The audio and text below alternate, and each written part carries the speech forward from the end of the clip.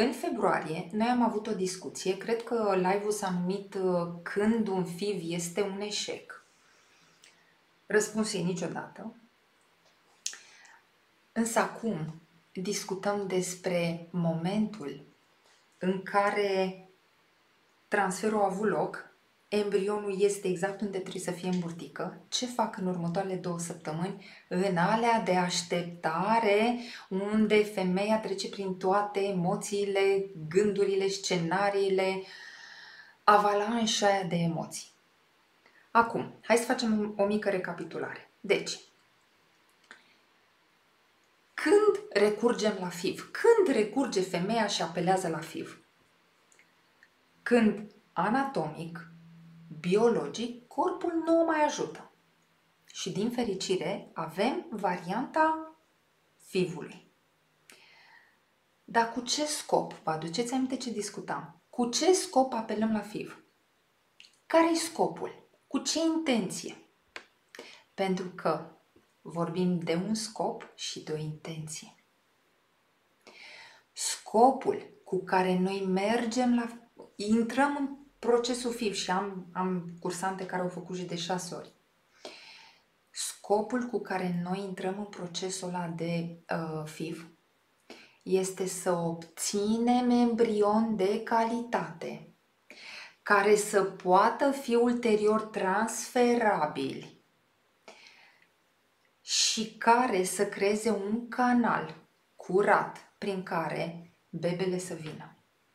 Deci, repet, Scopul e să obținem embrion de calitate care să poată fi transferați și aici fac o pauză, cu intenția ca noi să creăm un canal curat, liber de sarcini, cum îmi place mie să spun, prin care un suflet să pătrundă în corpul pe care noi l-am creat. Noi cu materialul nostru genetic sau nu, cu ajutorul medicinei, cu ajutorul științei, cu ajutorul a tot ce avem la dispoziție acum, noi creăm acel corp, acel embrion, care nu se vede cu ochiul liber. E mic, sunt câteva celule acolo. Și acel embrion se va dezvolta, va crește. Și ați văzut cum are, are, o, are o formă așa ca un bănuț definită, mm, și dacă vă, nu știu dacă ați văzut mai multe, dar eu văd pozele de la fiecare dintre voi și are ceva unic. Fiecare, nu e niciun la fel. E, acel embrion este transferat și ajungi la medic, vine ziua embriotransferului. Medicul îți ia și arată, te uiți pe monitor acolo și și arată, uite, unul sau doi, depinde câți au fost congelați sau poate chiar atunci au fost lucrați și ce arată pe monitor, uite, urmează, uite, sunt puși acolo unde trebuie și ce zice după aia medicul? Doamne ajută! Atât. Deci din momentul embriotransferului, din momentul în care voi v-ați ridicat de pe masă și ați plecat, nu mai e ceva de făcut pentru. Pentru că prima grijă, prima frică pe care o are femeia după transfer este asta. Acum, ce pot eu să fac? Să mă asigur că totul merge bine. Și acum vă zic situațiile și sigur sunt printre voi care au trecut prin astea. Sunt acele situații în care, dacă nu se prinde, femeia crede că poate nu și-a dorit suficient. De fiecare dată femeia intră ulterior într-o frică pe care nu poate gestiona și crede că din cauza fricii nu s-a fertilizat. Crede că poate nu s-a bucurat suficient. Crede că trebuia să facă ceva anume. Crede că poate trebuia să stea, nu știu, liniștită. Sau poate a fost neliniștită. Iar eu vă spun așa. Am făcut zilele trecute o postare pe Facebook. Stați așa. Stai, stai să vă citesc, să vă citesc postarea. Este un pasaj din uh, uh, cartea Cele 9 trepte. N-am carte la mine, dar mă uit pe, pe Facebook. Uh, nu, stai să citesc de pe telefon. Și spune așa, uh, spune așa din carte. Atunci când într-un cuplu există dragoste și din iubirea lor fizică se naște un copil, cei doi ignoră faptul că unirea lor trupească s-a produs deja în afara corpurilor și înaintea actului. Actul procreării are loc mereu în corpul sufletului înainte cu aproximativ 3 luni terestre de actul fizic. Hai să vă citesc și mai departe. Chiar dacă întâlnirea încă nu s-a produs, sufletele știu ce se întâmplă. Extras din cartea Cele nouă trepte, pe care am mm, citit-o de mai multe ori, scrisă de Angie Vodan și Daniel Meroa. E. Deci, acest aspect că sufletul își alege părinții, momentul, locul întrupării, nu e doar din cartea asta. Am citit-o în multe cărți. În ce îmi vine acum în minte, nu știu, Suflete curajoase de uh, Robert Schwartz sau David Schwartz, nu mai știu. În um, um, um, am mai găsit asta în um, Conversații cu Dumnezeu al lui Neil Donald Walsh. În um, în ce carte am mai citit? Um, îmi scapă numele, e o carte galbenă, dar nu mai știu numele. În fine, nici mai contează. Această informație că sufletul își alege în unele cărți cu șase luni înainte, în alte cărți că stă în câmpul părinților vreun an de zile. Ori, ca tu să crezi că din momentul embriotransferului tu ai făcut ceva greșit sau trebuie să faci ceva bine. Ca sufletul ăla să vină, perspectiva mea este că nu e așa. Pentru că sufletul deja a ales. Tu nu faci decât să-i creezi oportunitatea să vină, pentru că anatomic, biologic, poate corpul, nu, corpul, corpul tău nu, nu mai poate. Poate nu mai ai trompe, poate nu mai ai ovar, poate nu mai ai ovocite, poate anatomic nu mai poate, dar sufletul vrea. Și atunci, tu te duci și crezi un vehicul, să-i spun, un spațiu, un loc prin care el să vină. Dar decizia e luată de mult.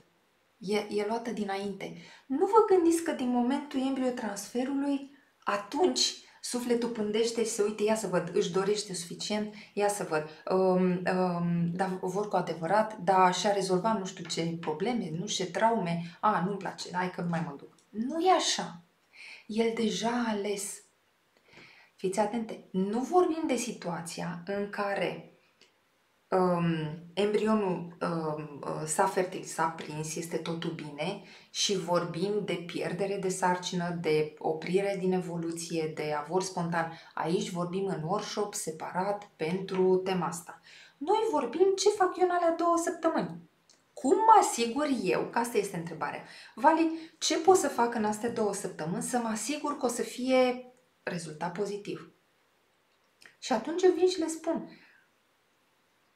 Sufletul a ales deja.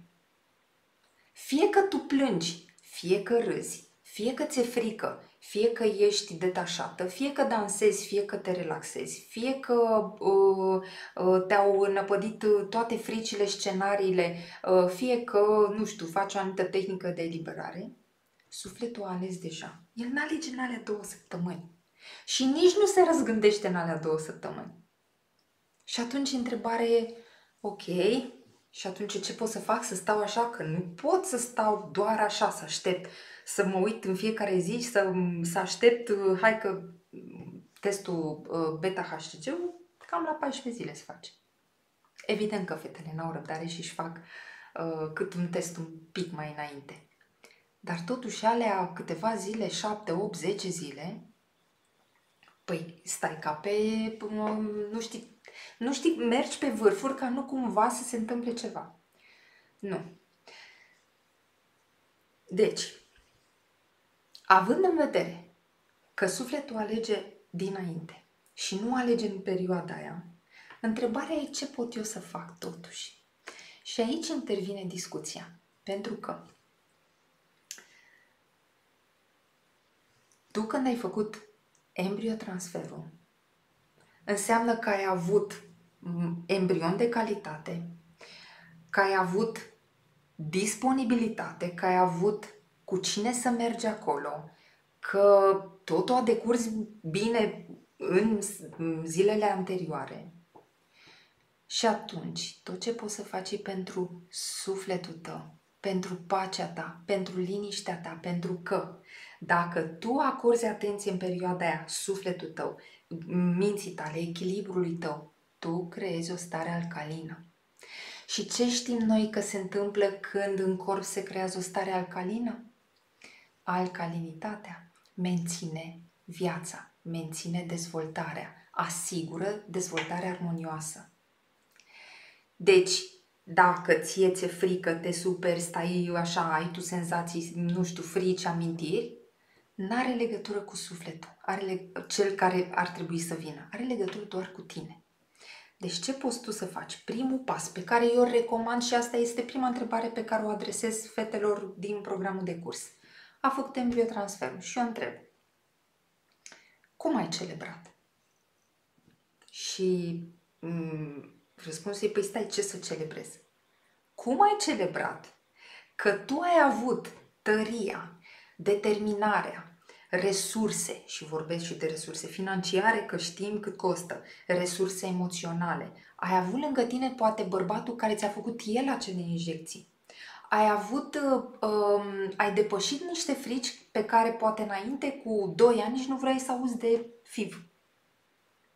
Cum ai celebrat tu în ziua embriotransferului că ai reușit?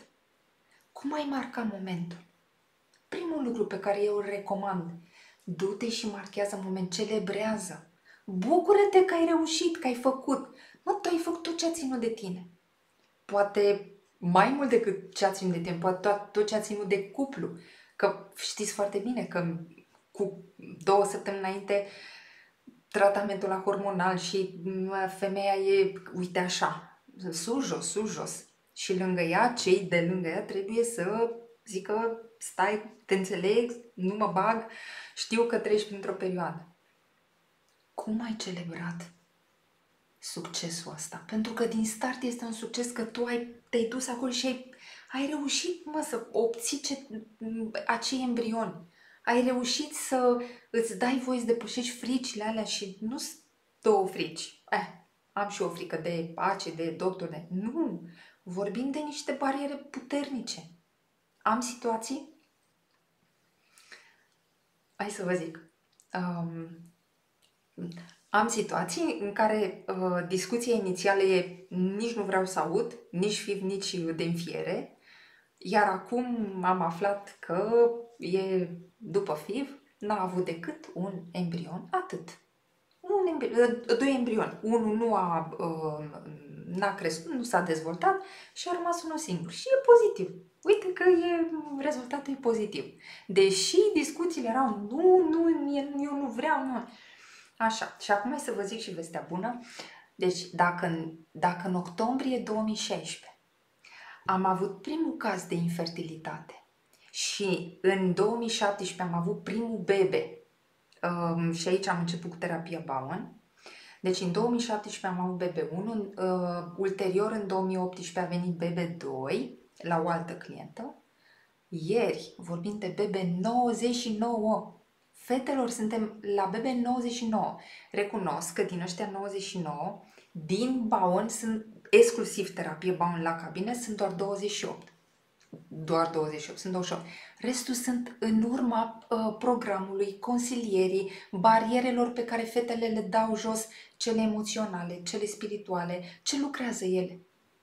Vorbim de bebe 99. Iar acum, în câteva zile, aștept BB100 și 101, pentru că mă aștept să fie gemeni, că sunt doi embrioni transferați. Și am zis 101 dalmațieni facem. Deci e așa.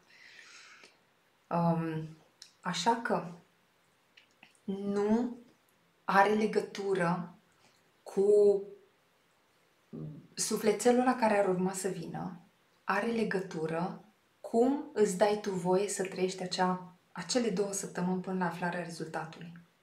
Pentru că succesul e deja. Tu ai făcut ceea ce a ținut de tine. Deci prima întrebare a fost, este, și vreau să o luați în calcul, cum ai celebrat. Poate ai fost cu uh, partenerul tău, uh, nu știu, la un restaurant, poate ți-ai cumpărat ceva atunci, poate, mă, da, celebrează, bucură-te, ți-a reușit, ai făcut maximul pe care știința și tu ai fi putut să faci în astfel de situații. Apoi, în urmă trec zilele. Ce faci în acele zile? Cum ești tu recunoscătoare pentru faptul că în tine tu porți o casă, să-i spun, un corp ușor, un, un mic corp în care noi așteptăm să vină un mare suflet, că e mai mare ca noi. Sufletelele astea care vin acum sunt mai mari ca noi, fetelor. Și ele au nevoie de un canal prin care să pătrundă, iar acel canal să fie liber de sarcini, cum îmi place mie să zic.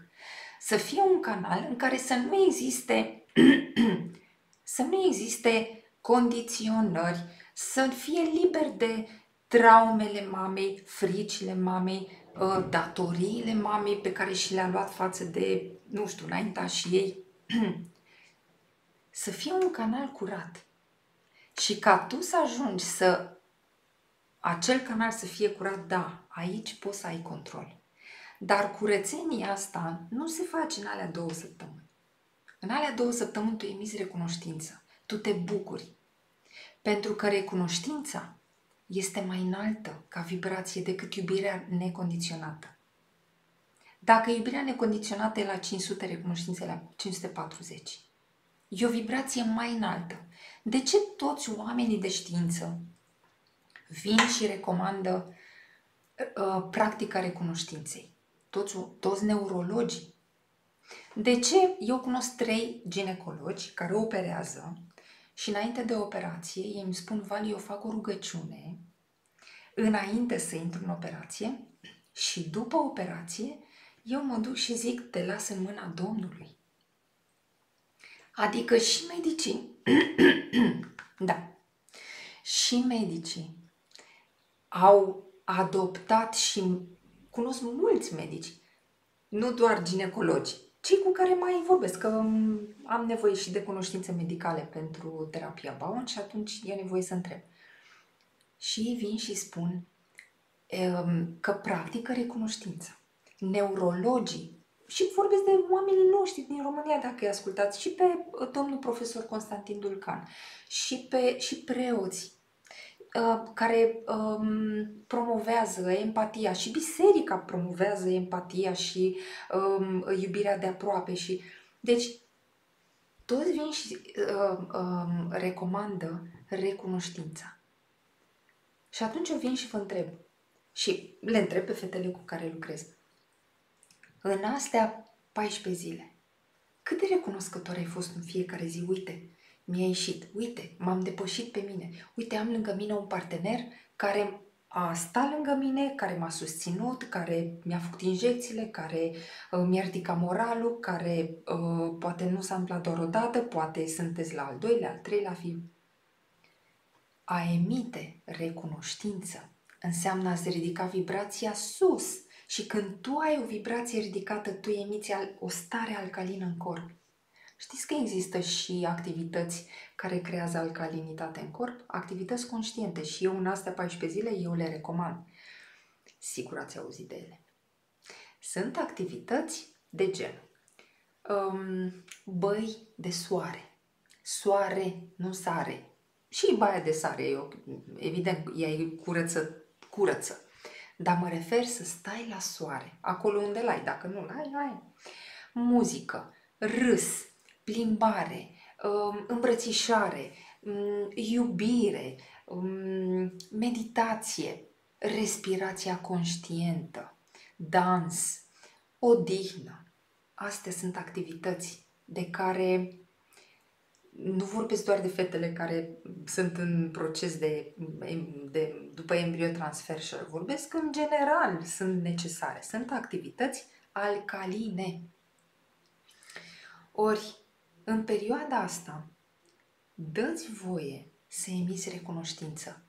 chiar dacă ți-e frică, chiar dacă nu ți-e frică, chiar dacă ți apar gândurile alea negre, chiar dacă ți apar uh, gânduri frumoase. Bebele, n-are nicio treabă cu tine. Crede-mă că el vine și dacă ți-e frică. Dacă el a ales momentul, el vine și dacă ți-e frică și dacă te superi și dacă plângi. Sau o iau și invers. Nu vine chiar dacă tu te superi, uh, ești veselă, chiar dacă râzi.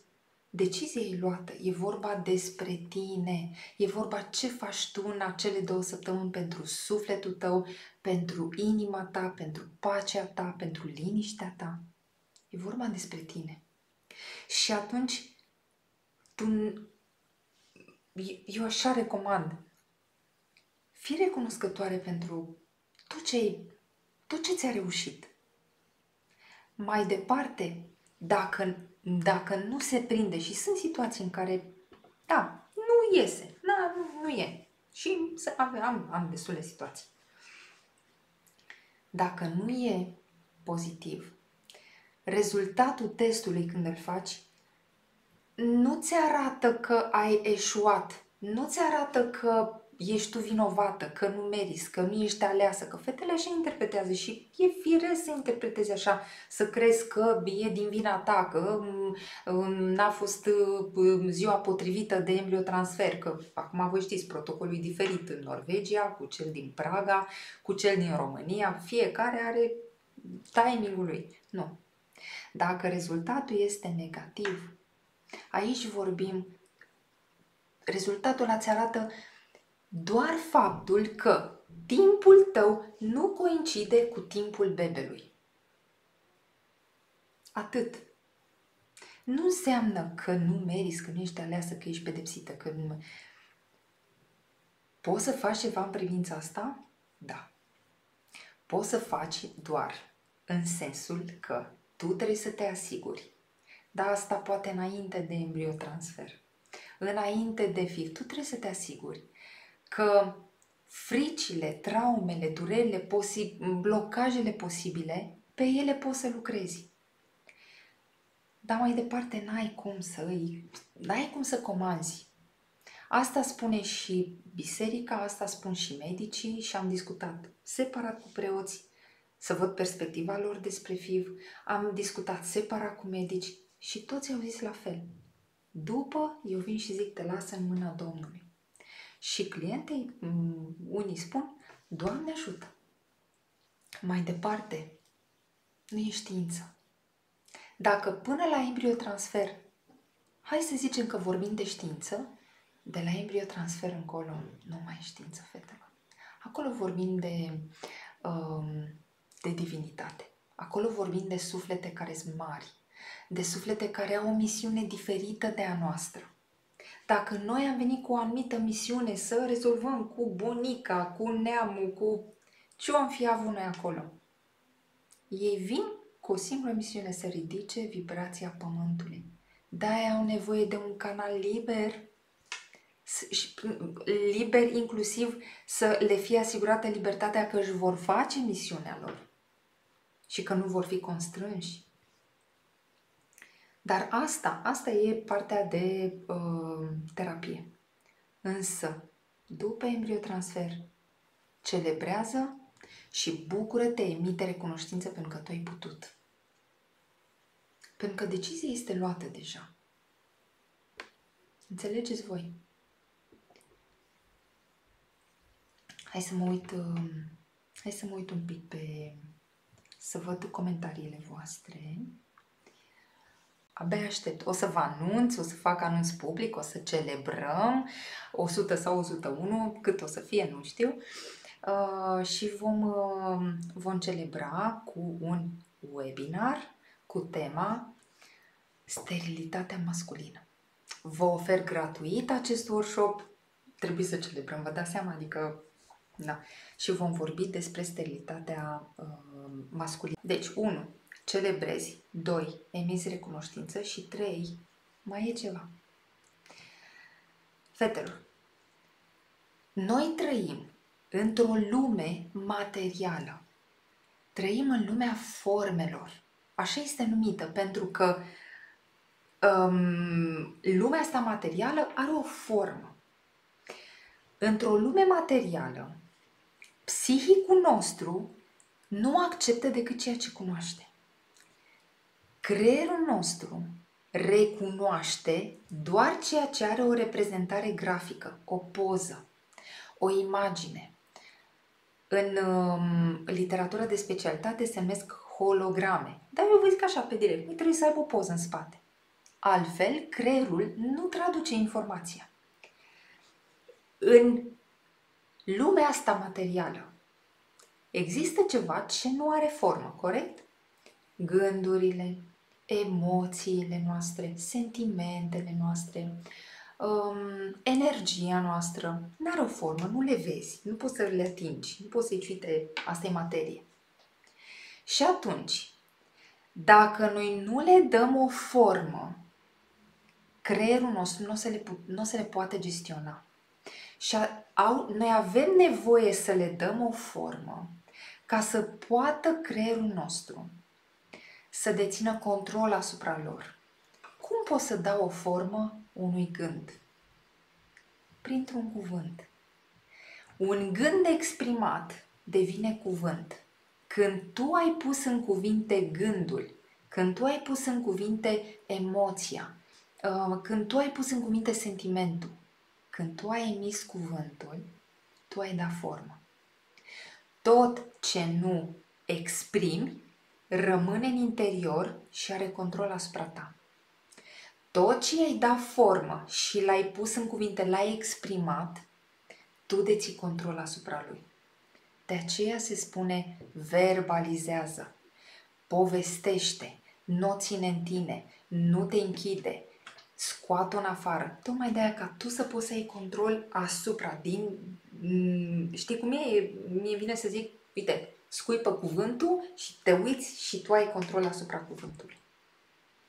Și nu mai e cu tine. Gândurile neexprimate, ați văzut ce viteză au și că te fac, deci e, au o viteză de... Gândurile întotdeauna vor câștiga. Degeaba te lupți cu gândurile.